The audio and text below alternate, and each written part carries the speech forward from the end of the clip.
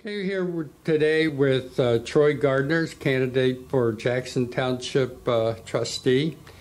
Uh, Troy, um, when did you make the uh, decision to run for Jackson Township trustee? Uh, well, I think it was uh, sometime early spring. I had been attending trustee meetings regularly since last fall. And I believe in the spring, um, one of the meetings that I went to, um, I was accompanied by about 30 high school students. Uh, they were there for a government class uh, assignment and the meeting was supposed to start at four o'clock. Well, we were all there at four o'clock, and then we learned that the meeting was changed to five o'clock. So some of the students went home and came back. Some of them stayed there. Uh, but then at five o'clock, uh, we were all back uh, back in the meeting room, ready for the trustees to start, and uh, still no sign of the trustees at five o'clock. Well, Martin, we sat in that room until about 6:30. No sign of the trustees. They were still in their executive session. And most of the students, they they threw their hands up in the air and they said, oh, "I, you know, I give up. I can't be here any longer. Uh, I got things to do, homework. I got to go home." Uh, so everybody left at 6:30, all except for myself and one uh, girl from high school. She said, I just need this class grade so bad, I have to stay. And so we stuck it out, and it was about 6.50, uh, 10 minutes till 7, the trustees finally came in uh, for their 5 o'clock meeting, which would, was originally at 4 o'clock. And at that moment, um, I originally had nothing planned to say in the public forum. Uh, but at that moment, I got up. Uh, I was, uh, I felt as if they disrespected the public, and I voiced my opinion. And uh, Walters, he looked at me, and, and uh, oh no, I know what it was. Walters being the uh, trustee that you're running against That this is- November, correct? That is correct. Yes, I said I had nothing planned to speak about this evening until now, and uh, and Walters looked at me and he said, "And and there you are." And I said, "Yes, here I am." And I explained how I felt that they disrespected the public, and uh, from that point on, they they have started their meetings um, when they say they're going to. What they'll do is they'll come out of their executive session to start the meeting on time, uh, and then they'll go back into their executive session afterwards. so you think you had an impact? I believe I did, yes, and it was from that point on uh, that I decided I wanted to run for trustee. Um, And how long have you lived in Lake Town? I mean, Jackson Township. Jackson I live in Lake yeah, I was I was born and raised in Jackson Township, uh, born in 1968, and my parents even uh, attended school at Jackson High. They graduated from Jackson High School in 1964, and uh, so I, I so you know the community through and through. I believe I do. I believe I have my finger on the pulse of the community. Okay, now, uh, prime issues uh, that I've gathered, you've uh, submitted a vi- campaign video, which uh, the Stark County Political Report will uh, publish, but we want to do this in- interview just to carry on the uh, Stark County Political Report tradition of examining Correct. the candidates.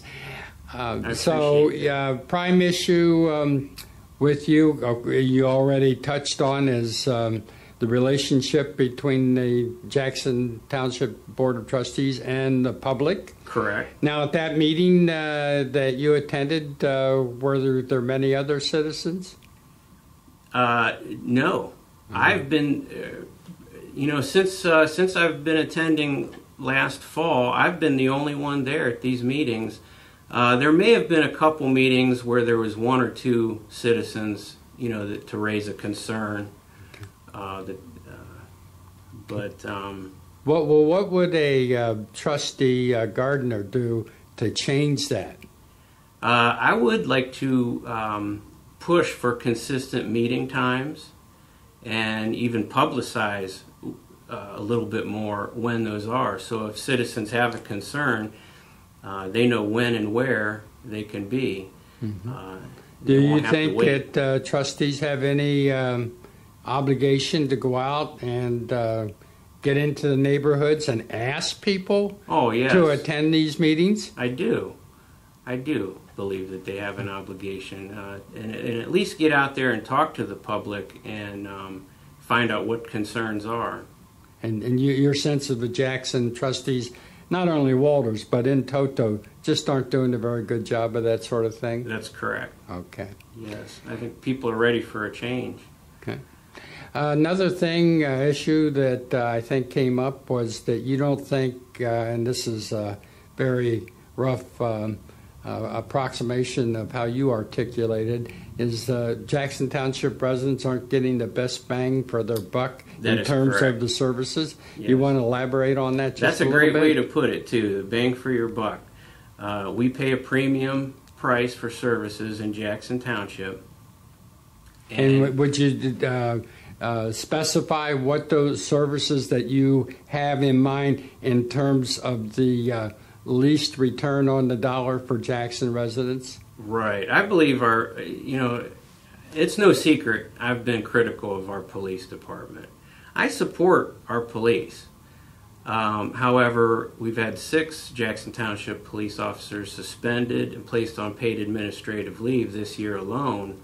That's an average, uh, well, that report came out in June, so that's an average of one per month.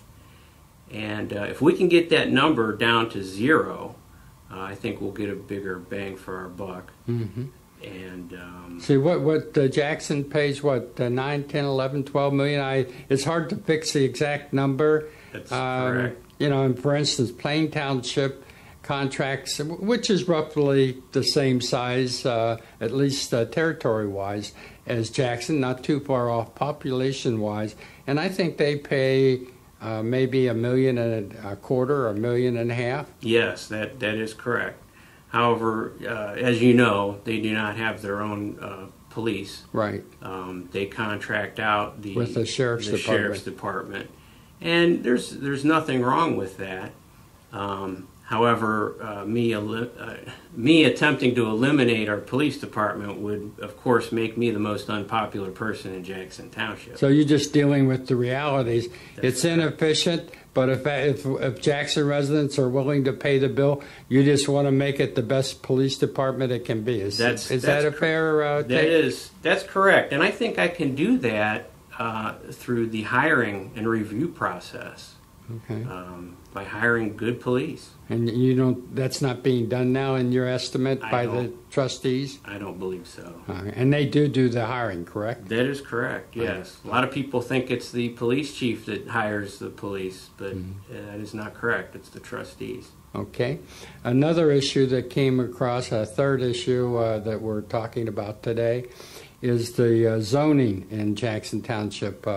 What is the issue as far as you're concerned? How would you express it? Yes, that is a hot hot topic. Most of the people I've talked to in our community, uh, actually, I have yet to, to speak with one person in our community that is for, or, or I'm sorry, yes, that is for the rezone. Everybody is against it. and I've what uh, would you articulate specifically what that uh, issue is? Sure. Yeah, this has to do with the rezone at the corner of Hills and Dales and Brunnerdale, uh, where Don DeVille uh, wants to have that property rezoned to R4 so he can build his multi uh, dwelling units. Um, and we're talking, I've seen the plans, uh, the new ones that he submitted, and we're talking about three hotel sized apartments right there at the corner.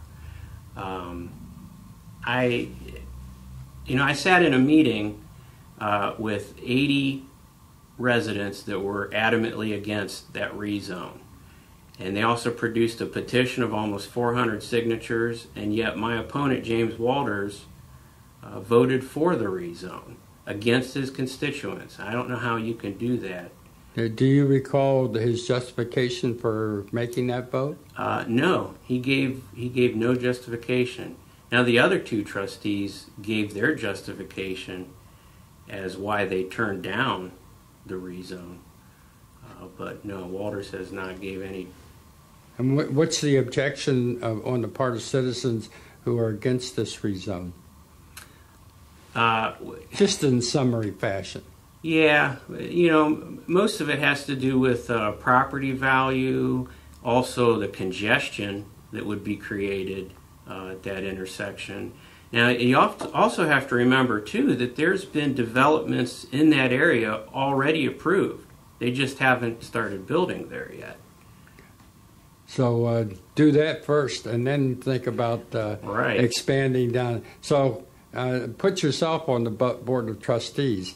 Uh, would you uh, uh, be in favor or uh, not in favor, or uh, you you listen to both sides and make a determination? you- yeah, I mean, you definitely have to listen to both sides first and make a determination. So you're not closed mind on it either way. No, not at all. But I, when you have that many of your constituents against something, You've got to pay attention. Yes. Okay, so your big thing as a trustee is that you're going to have your ear to the ground, wanting to listen to people, and let that be a factor in your decision makers. Yes. But can you see yourself as trustee, where it's uh, most people are on one side of the issue, but uh, you see it differently, and uh, you'll differ with the uh, uh, a what appears to be a majority. Right. I, I believe, um, you know, yeah, obviously when you have that many people for or against something, you have to vote in favor of uh, your constituents.